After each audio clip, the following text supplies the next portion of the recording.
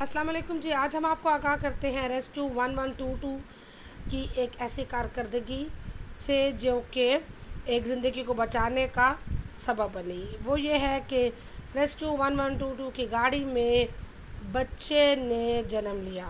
इसकी तफसील से हम आपको आगाह करते हैं कि ये किस तरह से मुमकिन हुआ।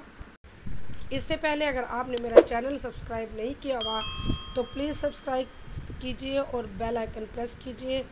बहुत शुक्रिया। इसकी तफसीलात कुछ इस तरह से है कि rescue one one two two की एंबुलेंस में एक खातून जो कि हामिला थी और डिलीवरी के टाइम के करीब थी तो उन्हें तहसील जहांगीरा सादिकाबाद शहदू की रिहाशी इस खातून को हस्पताल मुंतकिल किया जा रहा था, जबकि हालात को देखते हुए रेस्क्यू स्टेशन तैंतीस शहदू की अहलकार emergency medical technician Samreen Gul ने अपने पेशा वाराना तजर्बे को बुरकार लाते हुए एंबुलेंस में ही खातून की डिलीवरी कर दी। और आपको ये आगाह करते चलें कि तमाम जो वन वन टू टू की एम्बुलेंसेस होती हैं, उनमें ये तमाम जो आलात हैं, इससे मुतल वो मौजूद होते हैं।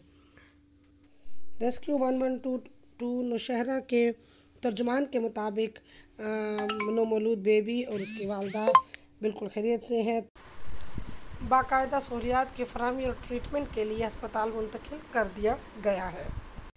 जी, मैं यहाँ ये ज़रूर कहना चाहूँगी कि खुशकस्मती और खुशबख्ती से ये मामला ठीक रहा। था हम अक्सर हमारे यहाँ ये अक्सर बदकस्मती और लापरवाही से और बेहतियाती से ये वक्त जो है डिलीवरी का और ये बच्चे के पैदाइश का जो टाइम पीरियड होता है, वो घर में ही गुजार दिया जाता है और डॉक्टर्स की तरफ़ बर वक्त रजू नहीं किया जाता, जिसकी वजह से इस किस्म के वाक़ात होते हैं और और माँ और बच्चे की सेहत और ज़िंदगी के नुकसान का अंदेशा रहता है। अपना ख्याल कीजिए और अपने साथ साथ दूसरों का भी अल्लाह